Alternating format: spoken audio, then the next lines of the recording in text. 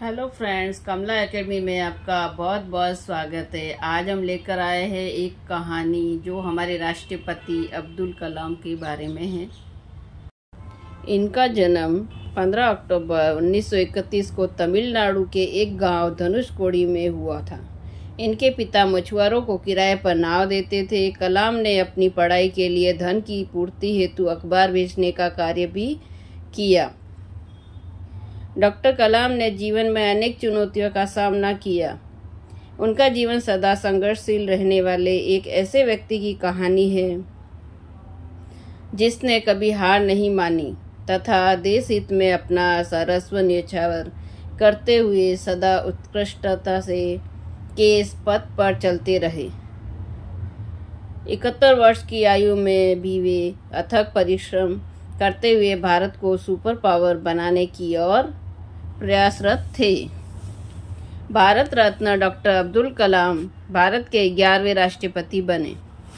वे भारत रत्न से सम्मानित होने वाले तीसरे राष्ट्रपति है भारत के मिसाइल कार्यक्रम में जनक डॉक्टर कलाम ने देश को अग्नि एवं पृथ्वी जैसी मिसाइलें देकर चीन एवं पाकिस्तान को इनकी रेंज में लाकर दुनिया को चौंका दिया। एक बार एयरफोर्स के पायलट के साक्षात्कार में नौवे नंबर पर आने के कारण उन्हें निराश होना पड़ा था। वे ऋषिकेश बाबा शिवानंद के पास चले गए एवं अपनी व्यर्था उन्हें सुनाई।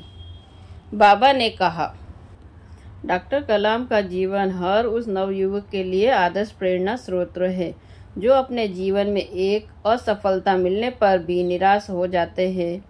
डॉक्टर कलाम ने अपने सारे जीवन में निस्वार्थ सेवा कार्य किया।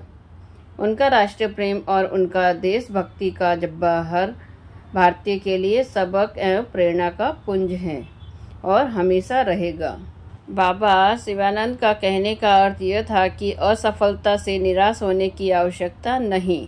यह असफलता आपकी दूसरी सफलताओं के द्वार खोल सकती है। तुम्हें जीवन में कहाँ पहुँचना है? इसका पता नहीं। आप कर्म करो ईश्वर पर विश्वास करो। Thanks for watching video